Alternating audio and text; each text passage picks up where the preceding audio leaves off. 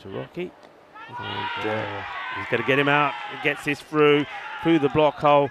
And uh, I think this catches a bit of pad. Probably would have been, I think this hits his pad. I think this is LBW anyway, Yeah. but the ball then goes on to the stump. So, well, he's, uh, it takes a big man to pick him up, and Mohammed Suleiman is a big man. He does pick up Arslan Arshad and gives him a bit of a jumpy and says, well done, well bowled. Chajil is going to be gone first ball as well. Caught behind. And so Arshad's on a hat trick now. And this time, Karnat finds it a little bit more in his wingspan. He takes it easily. And well, hat trick opportunity on the way. So here we go. Hat trick opportunity. Floating slip comes into place. Yeah, yeah, this is smart. I think you know probably not going to win the game now, so you just spoil someone else's day. And Matai is pretty happy just to just to knock that out for one. They're both very strong with the bowling, both very good with the fielding.